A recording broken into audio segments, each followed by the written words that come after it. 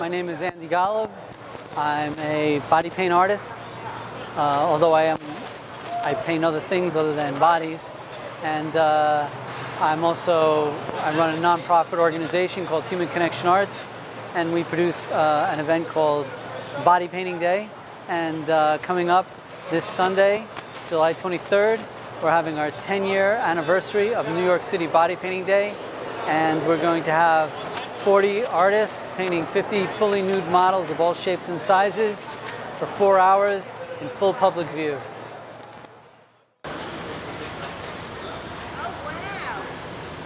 Still on the dentist chair.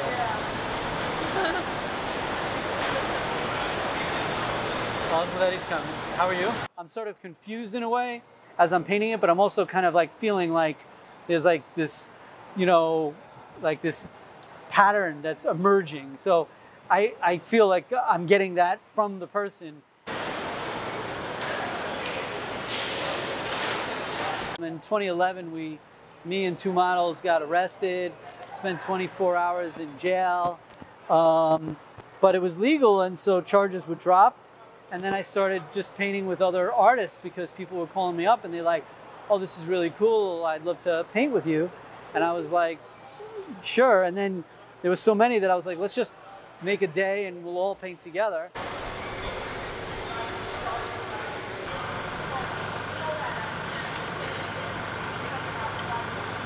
You'll find there's a lot of people that have been really impacted positively, uh, mostly models, but also artists, and feeling they, they've come out of their skin. And it's just been like a really positive experience of, of really celebrating freedom and celebrating people just not being afraid of you know, showing the world like this is who I am and not really feeling shame, you know.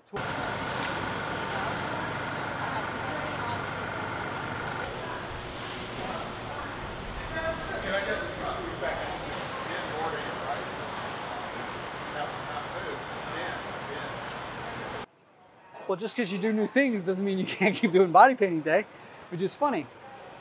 But I think that it's not true. I think that because it's not a matter of what you do, it's like it's your headspace. And it's sort of like it's time to move on, which means sometimes it's good to clear the plate, stop doing one thing, and say, what do I really am I feeling? I, I believe you, but you know, you're never too old to do this kind of stuff. Oh, well, maybe you're right. You're right. You're probably right. And she's got a great body.